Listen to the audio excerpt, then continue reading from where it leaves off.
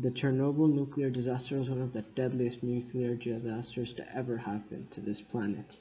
It claimed over a million lives and kept others suffering with its radiation waves. This is what my nuclear reactor looks like. The matches represent exploding neutrons or uranium inside the nuclear fusion chamber of the nuclear reactor. These are the control rods. The top is boron, bottom's graphite, and they cost about 33 cents at your local corner store.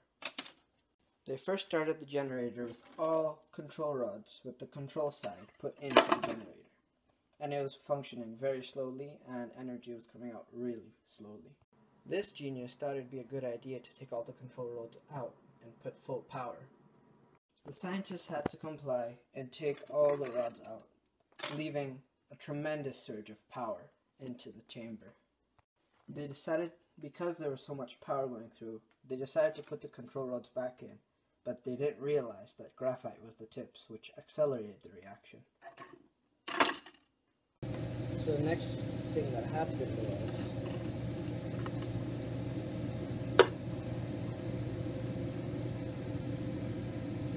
basically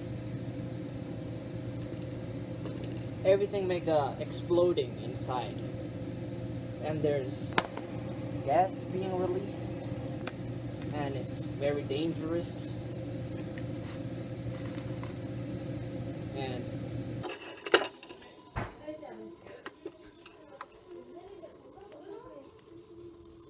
and that is how well there's more explosions but.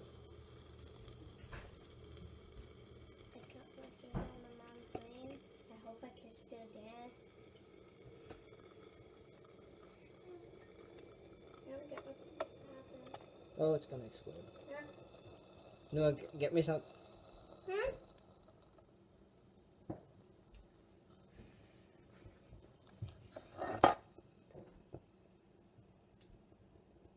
That was boring. That was so boring.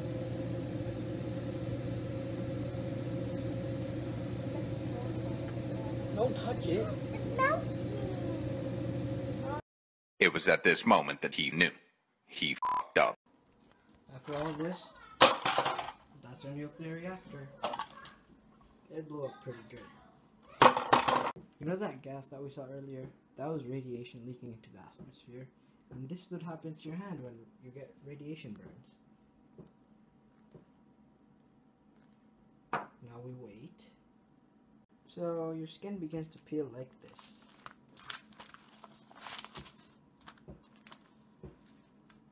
And then liquids start pouring out. Like that. Over a million people died over time because of this radiation. Conclusion Don't spend 50 cents making a nuclear reactor. Maybe put an extra 50 cents for putting some quality ingredients in it. Or materials.